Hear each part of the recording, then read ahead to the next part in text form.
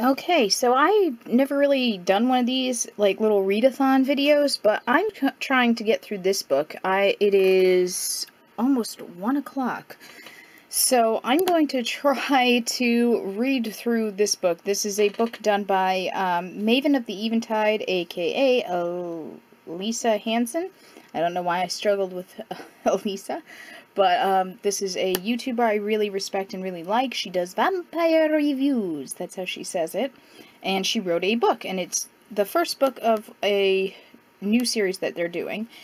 And it's a post-apocalyptic type of book. It's got zombies and vampires. I did not read the whole back. I just just wanted to kind of go into this somewhat blindly. So far, I'm enjoying it. I have read a bit. Um, I'm finding it thus far pretty good, so we shall see, and that's my bookmark. I kind of I like it because it's purple, it has a cat, and it reminds me of Highlander. And here's where the magic will happen. My gaming room couch, which I don't want to turn around and show you the rest of the room because it is awful.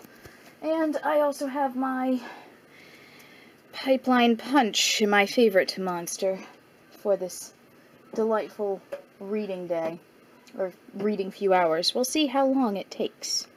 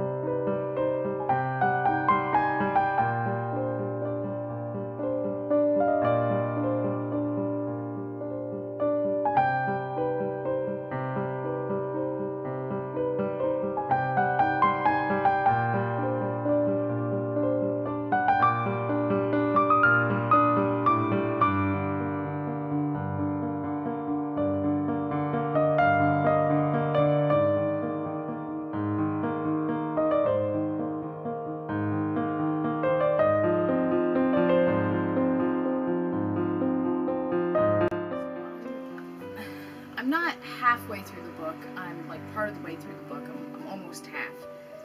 Almost. I've got like a little bit more, but um, this is going by pretty quick, and I gotta say, like, there's this really emotional part where it's like, I don't want to give away too, too much, because I, I want to encourage people to read, but there's this part where the main character encounters death, and it just, uh, this is after they themselves experience something, and it's so emotional, so disheartening and complicated and confusing and sad and it's just absolutely creative and utterly wonderful. Um, so yeah, um, so far I'm really enjoying it, but I, I actually, I, I didn't cry, uh, clearly I didn't, I didn't cry, but there was like this just welling up sense of dread and sadness and bitterness, and I share the, the characters' disheartened um, attitude. So, yeah. I gotta say, I'm, I'm not even halfway yet, and I have to stop to talk about it, but there's this character named Leaf, and he is a vampire, and I just find him so utterly charming. Like, I just do. He's a, he kind of strikes me as a bit of a dandy. Um, very, like, well-mannered, well-spoken, and charming. And he just has this great dialogue right now with an android. There's a lot of stuff going on in this, let me tell you. Androids, vampires, zombies, all kinds of stuff. Post-apocalyptic backdrop. It is utterly fantastic. It is a bit, like, slow going because a lot of characters had to be introduced, backstories had to be introduced, and all kinds of things, but it is pretty good world building. I am getting through it pretty quickly, so I am highly enjoying it. Okay, so I'm a little bit now over halfway, and again, I'm really enjoying Leaf as a character. And there's this uh, android that he met, I believe I mentioned that, but there's also a human being. So now Leaf is very interested in following the android. And oh my goodness, I just, oh, oh tensions are getting bigger, there's explanations for what's going on. Mwah, enjoying this. So I'm actually that far in the book and I'm trying, guys. I'm not used to doing like a all-day readathon thing, and I've had to stop several times. At one point, I had to stop and go to the store, and then I had to stop again and do some chores and things like that. So I haven't been like diligently reading, but considering I usually read like it takes me a little while to get through a book, I think I'm I'm doing pretty good. You know, it actually takes me several days to get through a book uh, depending on how thick the book is. I'm not like the speediest of readers, but I'm finding that this is actually pretty easy to get through. Um, still very rich and vivid, um, but as far as like being able to finish it today, I'm not sure. I'm, I'm still trying, so we're gonna see. Uh, we still got plenty of daylight left, so. Okay, so it's later in the day now, and I got to this uh, part in the book where uh, the main character, her name is Emily, by the way, is actually playing cards with death, and I really like this exchange. There's a lot of like a lot of little bits that I really wanted to read to you, but one of this one's actually really great. Um, death pulls out a deck of cards, and Emily goes, "Where'd you get them?" "I won them." "Who from?" "He's dead now." "Oh." Emily smoothed the edges and shuffled with care. He lost the game after all. Right. She cleared her throat, but paused mid-shuffle. So that's a thing? If I challenged you to a game when you came from me, I, I, would I have had a chance? Don't be ridiculous. Excuse me? She doesn't say that. She thinks that he spoke again before she could say anything. Why would a suicide challenge me? Oh. Oh. Oh. It was a brilliant... That's just such a small but very brilliant, brilliant little exchange. I absolutely love it. Okay, so it is 9 o'clock, and I finished this book. Now, I do admit, like I said, when I first started the video, I'd already started it a little bit. That's what I had read at work. And then the rest, I finished here, in one day. I haven't finished a book in basically one day for a long time, even though I got a head start. So, overall, what do I think about this book? Okay. I don't want to spoil everything for the book, but what this is, is it's a... Let me read this. The zombie apocalypse was just the beginning of Emily's problems. Now the vampire hunter has to ride cross country with Death himself in this thrilling apocalyptic adventure series. Yeah, so there's a lot of stuff that's layered into there. There's some futuristic technology, there's uh, the apocalypse backdrop, there's the character of Death introduced, and I like the way Death is introduced in this, and I like how Death acts because Death is not human, um, and he's purposely obtuse or he's not purposely obtuse. It kind of depends. He doesn't really know how to converse, really. It's, it's interesting. I can't really describe his speech pattern. But um, he's not, he doesn't quite grasp everything, and he takes things very literally. Um, so there's that, so it creates some funny and interesting dialogue.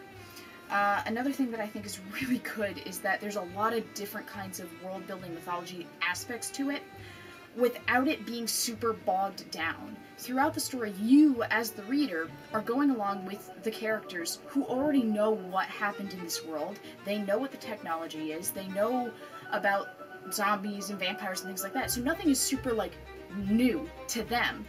And so everything is just introduced through them using the stuff and interacting with the people in a very normal way. It's not like an exposition man comes running in and is just like, hey, this is the thing that happened. No, the characters just talk about things and interact with things very organically. I, I don't know if I'm explaining it correctly, but basically nothing is super bogged down with explanations. Occasionally, yes, you get those sections of exposition, but they're integrated into the story through character thoughts and narrative so it doesn't feel like you're just being told information, you feel that it's actually integral to the characters as well as to the story at large, if that makes sense. For example, they introduce uh, androids in this. There's an android named Carol, who is a main character, and they have a vampire character, Leaf, who I mentioned before, and I love him. I absolutely love him. Just, oh, oh, such a foppish bastard, I love him. And then there's Emily, who is a zombie chick. Um, she didn't start out that way, and they and it's very complex how she became that way and you have Death as a character, and then you have Scott, who's just the human. So everybody else around Scott is just different. He's not the main character, but I do, I, I kind of wonder, uh, after I put this down, I was like, I wonder what Scott kind of thinks of, like, everybody around him not being human. but there's a lot of really creative and fun scenes in this. Uh, the characters all have a distinctive mode of speech, distinctive personalities, so you can tell who is who, even if there's not like a he said, she said type of thing going on.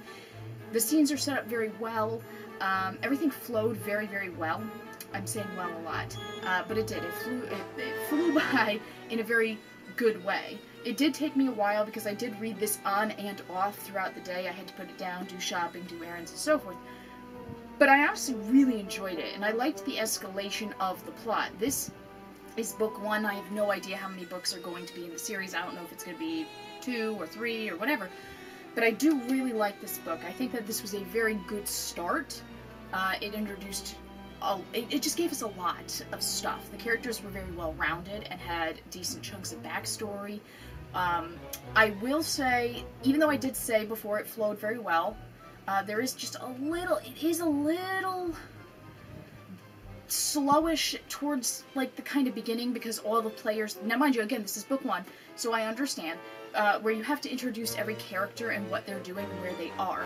So in the beginning, it is a tiny bit slower, but that's okay. That is okay, because this is more or less a character-driven book, and I really, really do like it. I think that the character of Emily, who is our star, brings wonderful insight to her situation. She has a very strong, determined personality, a very brash way of speaking. Um, just, she's fantastic. I, I like that. Um, yeah, so I highly recommend checking this out. I will leave a link down below to where you can purchase this book, as well as the link to uh, Elisa Hansen's channel. So anyway, thank you so much for watching. Terry over and out.